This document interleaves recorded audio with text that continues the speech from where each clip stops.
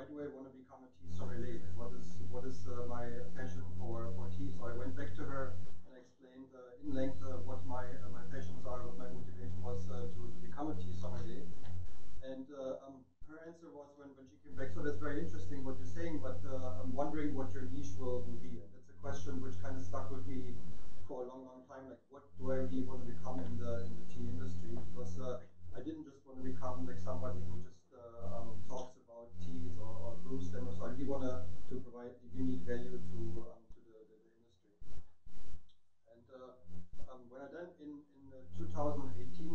to, study with uh, the Fine Water Academy with, uh, uh, Michael and Martin.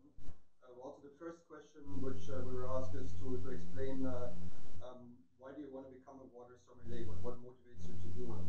We had to do this in a, in a video, which probably was the worst video in, in the Fine Water Academy, which was, was done. But uh, in that moment, it really like kind of clicked to me, and uh, um, I really wanted to, to my energy into uh, creating a bridge or becoming a bridge ambassador between the water and the, the tea industry. Because I started when I was studying with uh, the Fine Water Academy, I started to see a lot of similarity. I started to see the same kind of tension between two industries. I mean, we're talking about uh, the number one beverage and the number two beverage in, uh, in the world. And I, I could see sense the same kind of uh, enthusiasm and the same kind of uh, passion uh, in, in, both industries. And what I would like to do here today in this presentation is uh, to focus on uh, um, future trends uh, in the tea industry, which could benefit the water industry. So we're trying to give you five opportunities for you to um, to, to um, see possibilities uh, on how the tea industry could benefit you, could benefit the, your your water brand or the area in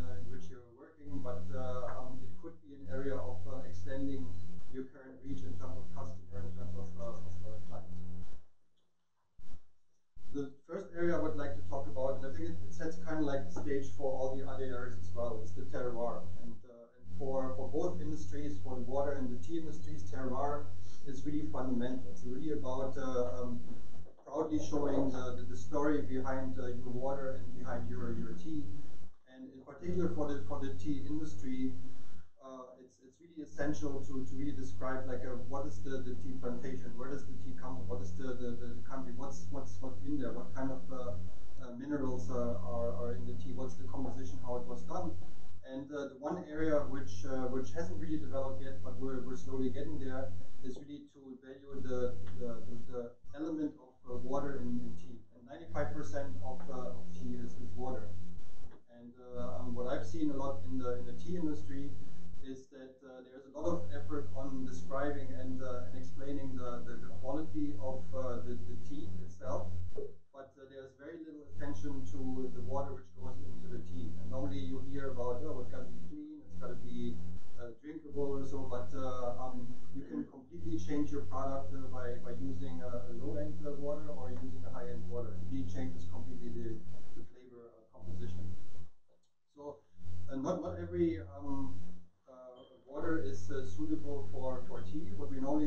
we say is uh, it's uh, a TDS uh, below 50, like a super low minerality.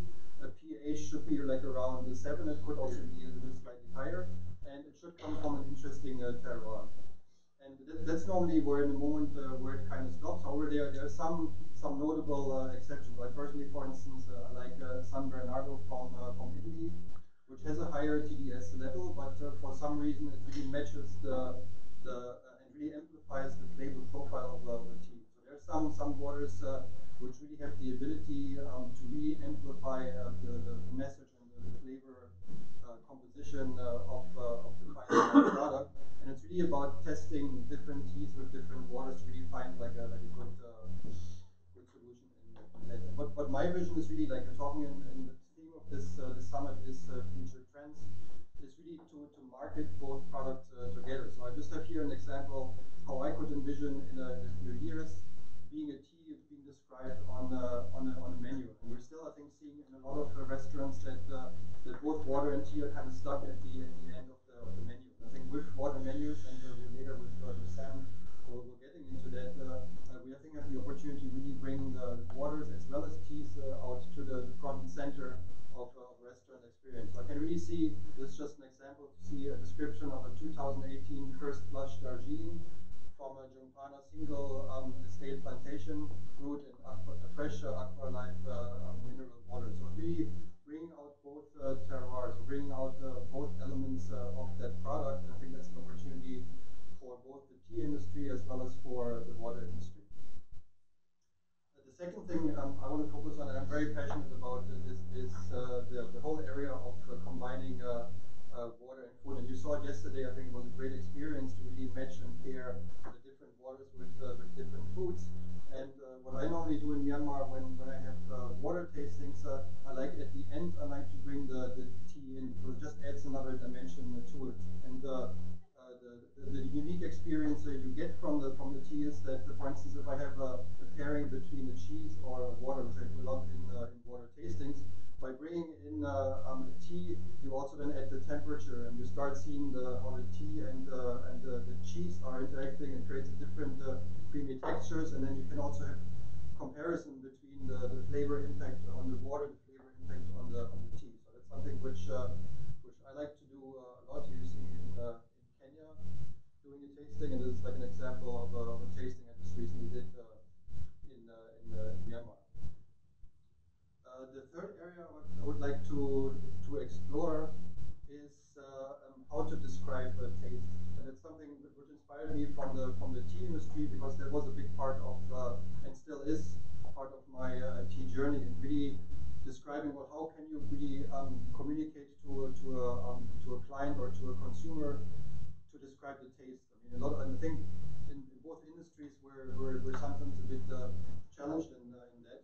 And uh, um, I got really inspired by um, one of my mentors, uh, which is uh, um, Madame Cheng. She, she owns a, a tea house in, uh, in uh, Paris.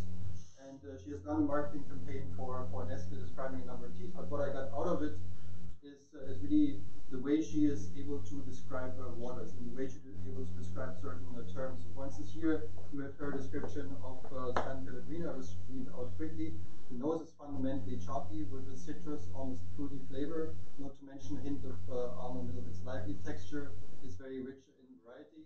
The distinctive taste of San Pellegrino is a sharp lemony effect reminiscent of uh, lemon juice, giving it an acidic bite. And I think uh, to me, uh, I kind of like got, got me a lot of thinking, like how can I describe uh, water? Like what are the different uh, elements uh, to really communicate or let other people describe waters? And what I did in in my tea studies is um, we have this, this, this tool in the, in the, in the tea industry on, uh, on the tea wheel because uh, it gives, gives you an opportunity to really um, pinpoint and describe like well how is how can you best describe this taste? I mean my, my teacher in the in the the World Tea Academy always was very punishing uh, in terms when I just described the tea in terms of it's fruity or it's sweet or it, you really have to go down to the level of uh, what kind of uh, um, sweetness are you talking about? What kind of uh, um, fruit are you talking about? And, and, the, and the tea wheel really helps you to kind of like uh, get into segment, and then once you taste and really connect and really find the, a good description uh, for that uh, particular word. It's, the same, for instance, in the Fine Water Academy, whenever we use the word uh, pure, then we always got, uh, got uh, punished for, for, for that. Um, so what, what I did is, uh, and it's actually the first time I'm showing this. I mean, it's, it's something which which I tried to bring that that um, knowledge from the from the, the tea industry, and I'm really showing it to you the first time I really published and, marketed it anywhere. Is can can we develop a, a water wheel, something which uh, which will help you or to, to in, in order your communication with uh, with the customer in really describing uh, water tastes and then giving them an experience uh, of uh, different types of uh, waters and how can they connect and best describe this taste. So what I, what I did here is the, the, the front part of the, of the reel and uh, it's, it's a bit complicated because it's not like a one-to-one -one match to the, the tea industry, but I tried to combine both the, the, still waters and the sparkling waters. And it kind of it follows pretty much the, the, the categories of the, the fine water society, almost, it's, it's, it's close there. But uh, I try to, to, to match certain categories with, uh, with my personal impressions and my personal uh, um, observations when it comes to a certain taste and for, for a certain water in a certain uh, category. And um, that's something which, uh, which you could use for, for, for your tastings and just give it to a, to a customer and let them play around with it and let them describe uh, on how would they feel or how would they describe a certain taste on the back side of uh, of the, the, the, water wheel, I try to remove it a little bit from the from the categories and really give uh, give more of an experience uh, where they can then. Uh, um, it still follows the same kind of impressions, but uh, it's more uh, more broader categories. It's more soft tasting waters, and more bold tasting waters, so that they can be like kind of um, as they go to a to a flight, go to a water tasting of a different flight, they can be connected to to that experience. Uh, the next area I want to highlight is uh, what I also in my final assignment for the for the Fine Water Academy I call the, the world of cold. Because I feel that uh, that there's a, there's a huge uh, trend uh, in the tea industry now um, to really enhance the quality of uh, of uh, cold teas. In particular, in the US, uh, the, the, the iced tea market is is really now getting to a stage where consumers are really looking for for a higher quality, not just a glass of, of iced tea with some ice in it, but they're really starting to ask questions in terms of uh, what's in it, like what is the the um, the, uh, the, the, quality, what is what kind of tea you're using, and in particular the, the ready-to-drink teas, the bottle teas you get in the supermarket. That's a category also sees a big spike in terms of uh, uh the, the, quality and the type of teas which is going uh, in there. I think it's a it's a whole area, and I will highlight two elements in that in that part of the industry, which which would be an opportunity for you as a, as a water brand and really exploring and really trying to something new with uh, with your your product. But um, the first thing um, I want to highlight is uh, sparkling teas, which is really fast growing in the in the tea industry, and uh, and we, we're seeing a lot of uh, growth and uh, there's a lot of brands now coming onto the, the market and really allowing a different experience, uh, not just which, which is based on the, on the, on the still water, but really you bring that sparkling uh, element uh, into into the, the, product. The second thing I want to want to highlight is, uh, and I started to experiment that uh, since since about half a year now, is uh, the experience of uh, ice cubes in in teas. And to me, that adds just like another layer, another dimension for for you to to experiment. so you can, on one hand, you have water which you brew the tea with, which uh, in, in normal case would come with a low minerality, but also gives you the opportunity now to, to add the ice cubes, in particular for, for cold drinks, for, for, for iced tea, with a different uh, type of water, or even with a different uh, minerality. And I feel that's a that's an opportunity, for instance, to have uh, high quality tea, but then adding uh, to it uh, um, an ice cube from a, from a different water, even with a high minerality, which then slowly goes into the, the, the still in the very beginning of, uh, of, uh, of, the studies uh, to see what the flavor impact really is. But even by freezing um, sparkling teas into ice cubes, you get a good texture and get like a very interesting experience for a customer. The last area, the fifth area I want to highlight is the area of, of wellness. We're not allowed to talk about health in the, in the, in the Fine Water Academy. But, uh, but uh, wellness, I think, is it's a big, uh, big area. I think both industries, as well as the tea industry, as well as the water industry, have a, have a interest in really trying to market it in a way, uh, in something which uh, is more and more becoming uh, relevant uh, for for customers. Just To give you an example, on the lower end, as you, you see me in uh, 2017, and on the right end, you see me after studying with the, the fine water. So, not, not saying that uh, not saying that it's only just because of the water. I drink between these these two two times, but uh, but it really gives, it gives you an opportunity to, to really um, extend the, the, the reach. I know, I know that for, for the for waters we're focusing on, on minerals, but in tea you have over 400 different components uh, are in, in, in tea, so it gives you the opportunity to to market and to really reach your, your part and showcase it uh, within the tea. So you can add the element of uh, antioxidants, you have the different uh, vitamins, uh, you have different uh, minerals. So it's, it's an opportunity to really uh, have your product as part of, of, a, of a bigger wellness campaign, which both industries I think are very key. So I, I um, encourage you, like any, um, I, I, have a blog which, which I'm currently running, which is uh, now a combined tea and water blog, manwithamug.com, and uh, feel free to reach out to me uh, over my, my email at any time or later for any questions. Thank you very much. You can see I'm, I'm just in my mind, I have, you know, four products coming out of just the idea what you can do with, with one. So very interesting. Thank you very much. I'm sure there are many questions. Presentation was a little bit short, so we have uh, lots of time for, for questions. Any microphone? Any questions? No? I must say, I think the wheel is wonderful. Mm. Really, yeah, it's really interesting because we're looking at this as a wheel as well because you're working with the wheel in the wine industry, as wine aromas. Yeah. So, yeah, I think that's something all water sommeliers should discuss together to find the perfect definitions or something, make it consumers to understand water and the taste of water. So, yeah, really good presentation. Yeah, no, thank you very much. I think the, the wheel, I mean, I've, I've seen this in many different uh, industries. And then when, when I was working with the Fine Water Academy, I tried to look it up and see okay, what, what does a water wheel look like. And uh, most water wheels, they, they focus more on the, the, the, the water sanitation kind of aspect and more very scientific technical. And I think what and again, it's just I think opening up a, discussion. I think what uh, what the water wheel could do is really open up a conversation to a, to a consumer. And I think we, we're all interested in uh, in really bringing premium and fine water to to a broader audience. And I think uh, what I've seen, what I've also personally experienced in a lot of the water tastings, uh, that sometimes uh, uh, um, people struggle to, well, how do I describe it now? I think they taste it, they, they like the taste, but how can they, they translate that uh, then into describing what they're tasting? I mean, certainly as a sommelier, you're always in uh, in trying to translate what you're experiencing as a taste uh, and then uh, um, presenting it to, to, to a consumer or to, to a customer so that it really becomes attractive uh, to it. But I think a water wheel is a, is a good tool to just to play around and really get them more comfortable in, in really seeing, okay, the different waters have different tastes and that you can experience them, but how do I then connect to that particular taste for that particular water? Yeah, I totally agree. I think also if you work with the sommeliers in restaurants, uh, if they're wine sommeliers, they're pretty used to like putting wines in different categories and describe them. So they are, I think they're also really looking for something to make it easier for them to describe it to the guests.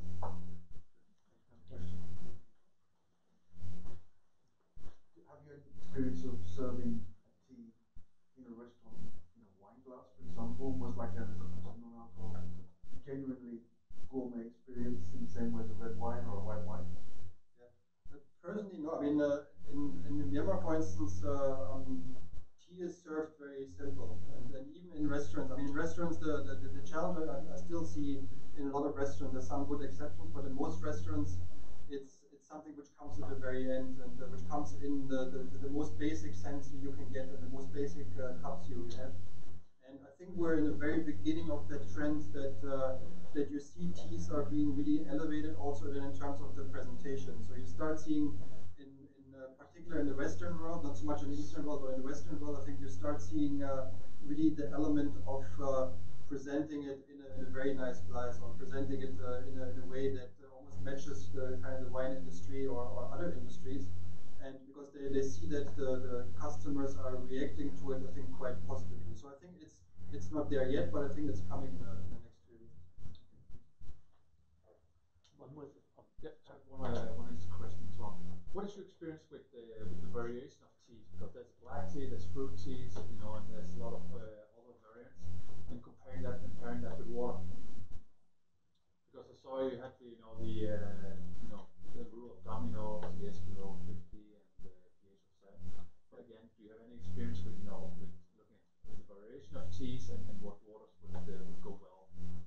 Yeah, no, it's a, it's a very good uh, question, and uh, there there is actually on uh, um, on the the, the, the Fine Waters uh, webpage. There's a there's a link, and uh, my final assignment is uh, is linked uh, to that, and there's there's a whole set of videos where I'm going into um, comparing different uh, types of teas, and uh, I'm I'm start and also experimented with uh, different different waters. I mean, it's, it's difficult to, to put like a like a, um, a, a general kind of uh, answer answer to that because really it depends on the on the type of, uh, of tea. So like for instance, uh, uh, green teas or, or white teas uh, have a much different uh, sensitivity to, to the type of waters you use than than, than for instance the, the black tea would uh, would, have. So like a, a more bolder flavor. Uh, will, will react differently to, to minerality in water than, than a, very sensitive uh, white tea or, or green tea might, uh, might, might do. A lot of it, I think, is is is try, trying things out.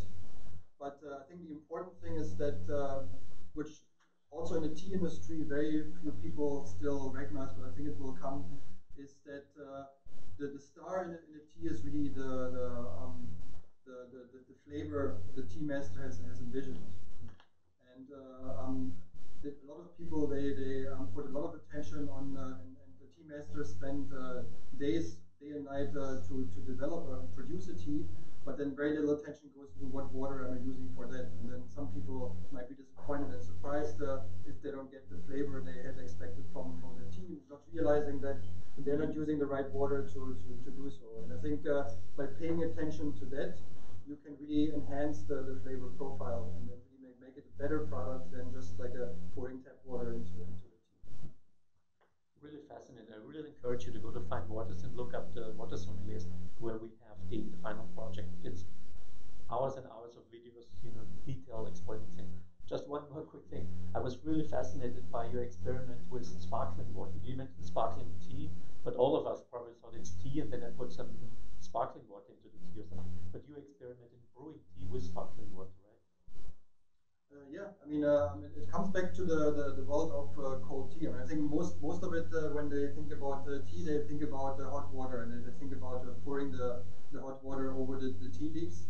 But um, what area I like a lot is is the area of cold brew. It takes a bit longer. It's not that instant gratification you get if you pour water over, over a tea bag.